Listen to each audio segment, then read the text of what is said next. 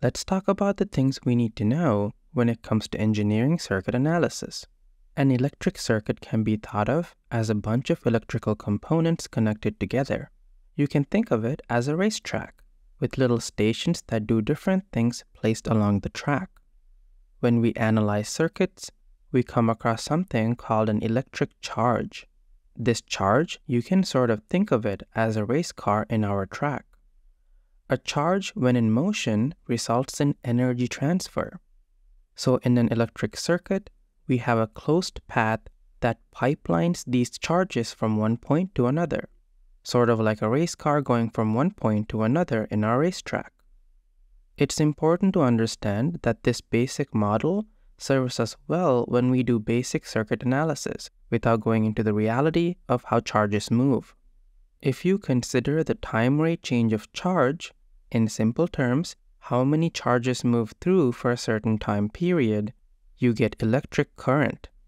We can write that like this. So here, I is the current and Q is the charge. In simple terms, taking the derivative of our charge gives us the current. To find the charge from current, we need to take the integral. We can write that like this. Current has the units amperes or amp with a capital letter A and 1 ampere is equal to 1 coulomb per second. When analyzing circuits, there is a universally adopted convention which is to assume that current flow represents the movement of positive charges. In real life, in metallic conductors, the current flow is due to electron motion, but that doesn't matter when we solve problems. So remember, the universally adopted method is to assume that current flow is the movement of positive charges. A good example of this is to note that when you have power sources, like a battery, we assume that current flows out from the positive terminal of the battery.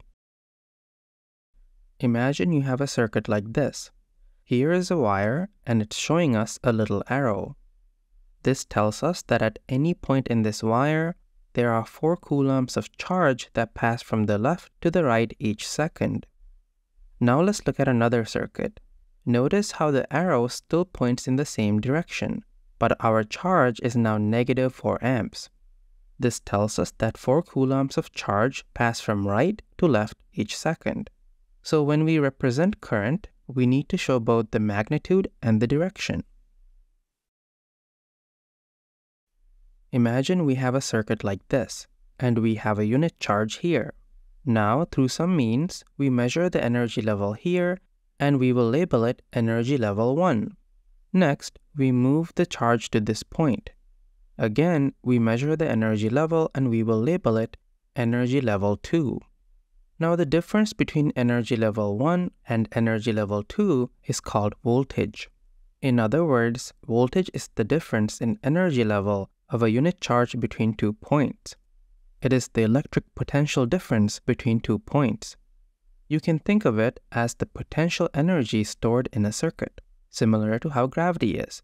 Imagine you have a ball on top of a hill. If the hill is really tall, the more potential energy the ball has. The ball will roll down the hill due to gravitational potential energy. In a similar way, charges move through a circuit due to voltage.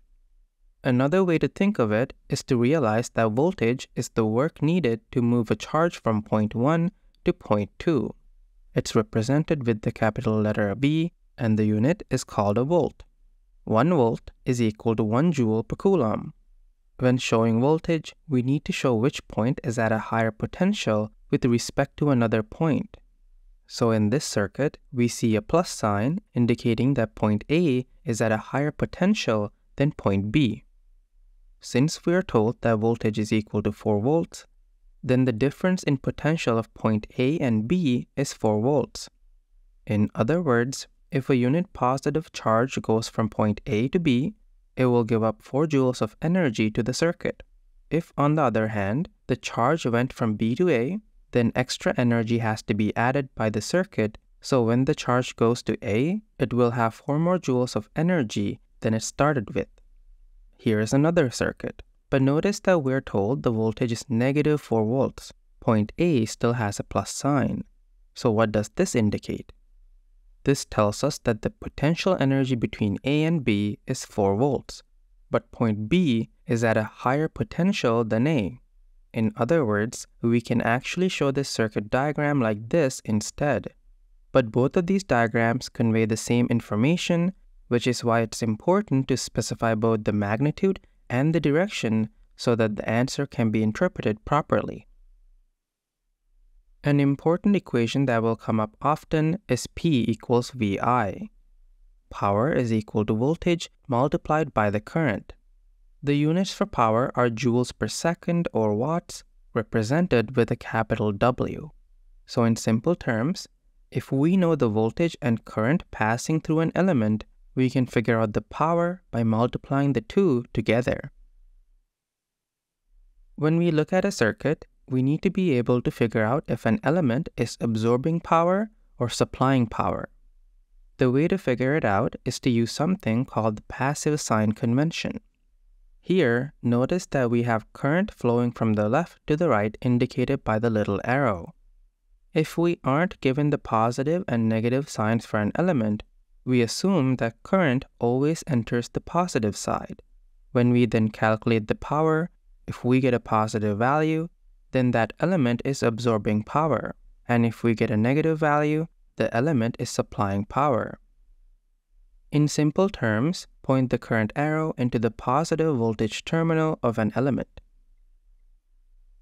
When we calculate the power being absorbed or supplied by each element in a circuit, what would happen if we add it all together?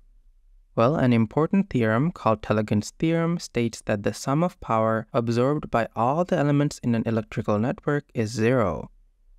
In other words, adding all the power supplied and absorbed by elements in a circuit must equal zero. The last thing we need to talk about are circuit elements. Elements in a circuit can be labeled as active or passive. An active element will generate energy while a passive element will absorb energy.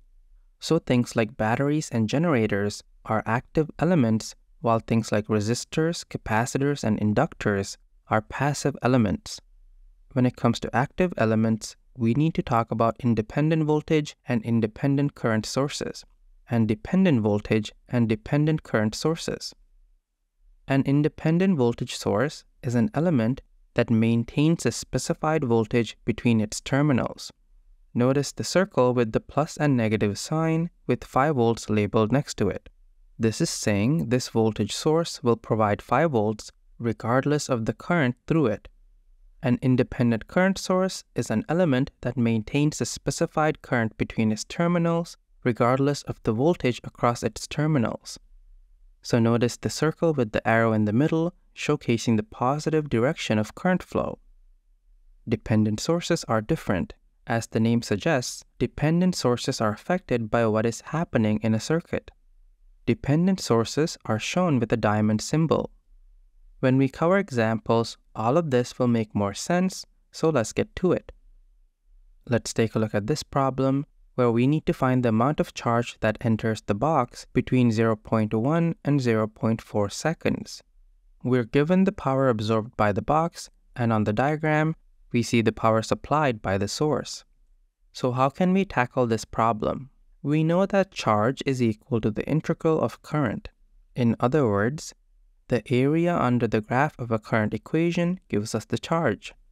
We also know the bounds of our integral, which is from 0.1 to 0.4 seconds. What we need is the equation for current from what is given to us we know that power is equal to voltage times the current. We have the power and we have the voltage. So let's plug our values into this equation and then we can isolate it for current. Now that we have the current, we can use that to figure out the charge by plugging it into our integral. We can pull the half out and solve. And that is our answer. Let's take a look at this question where we need to calculate and sketch the current and power absorbed by the box between 0 and 10 milliseconds. So looking at the charge graph provided, we will need to calculate 8 different segments since the slope changes at 8 separate locations on the graph. To find the current, remember that it's the derivative of the charge. So in simple terms, we need the slope of each segment on the graph. To find the power, we just need to multiply the voltage by the current. So here, the voltage is 12 volts. Let's start going through these segments. So from 0 milliseconds to 1 millisecond, we have a slope of 0. Remember, to find the slope, it's rise over run. So here, it's 1 minus 1 divided by the run, which is 1 minus 0. That gives us a current of 0 amps. So our power is also 0. Then from 1 millisecond to 2 milliseconds, we have a rise of 0 minus 1 and a run of 2 minus 1. That gives us negative 1 amps. The power is then negative 12 watts. From 2 to 3 milliseconds, we have 0 amps and 0 watts. From 3 milliseconds to 5 milliseconds, we have a rise of negative 2 minus 0 over a run of 5 minus 3. So we get negative 1 amps and the power is negative 12 watts. From 5 to 6 milliseconds, we have a rise of 3 minus negative 2 and a run of 6 minus 5. So we get 5 amps and a power of 60 watts. The rest I will just fill in and you can pause the video to look through the values. Now that we have these values, we can plot it on a current and time graph like this. We can do the same with the power versus time graph. Let's take a look at this problem where we need to figure out the power supplied by element A. When it comes to questions like this, the wording is especially important, the key word being supplied. So that means element A must be some power source and we know that current must leave the positive terminal of our source. But notice we're shown the arrow pointing towards the positive terminal. That means it should be opposite to what is being shown, so it's negative 2 amps. Power is voltage times current.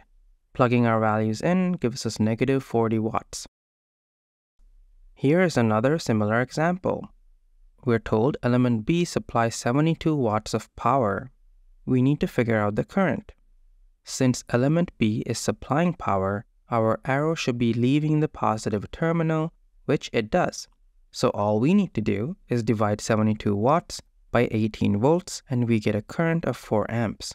And it's positive because our arrow is pointing in the proper direction. Let's take a look at this circuit where we need to find the power absorbed and supplied by each element. In this case, we assume what's shown to us to be correct since we aren't told any specific element is supplying power or absorbing power. So we tackle the problem using passive sign convention. Starting from the voltage source, we have current entering the positive terminal, so we get 14 times 2, giving us 28 watts. And it's a positive value, so it's power absorbed. Then we have a current source, current enters the negative terminal, so we have negative 20 times 2 giving us negative 40 watts. So that's power supplied. Then we have element 1 and current enters the positive terminal, so it's 6 times 2 giving us positive 12 watts, meaning power absorbed.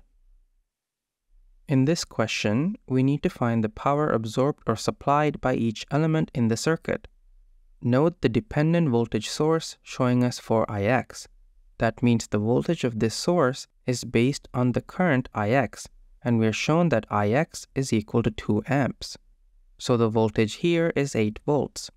Now starting from element 2, we can figure out the power. The current enters the positive terminal, so we have 12 volts times 2 amps, giving us a positive 24 watts.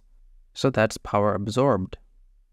Next, the voltage source we have current entering the negative terminal, so that's negative 8 times 2, giving us negative 16 watts. So that's power supplied. Then we have another voltage source, and the current enters the negative terminal, so we get negative 24 times 2, giving us negative 48 watts. So that's power supplied. Next is circuit element 1, and we have current entering the positive terminal, so we have 20 times 2, giving us 40 watts absorbed. Let's take a look at one last example where we need to find the current labeled I.O. using Tellegen theorem. Remember that in Tellegen theorem, we just need to add up all the power absorbed or supplied and it should equal zero. So let's start calculating the power of each element in the circuit.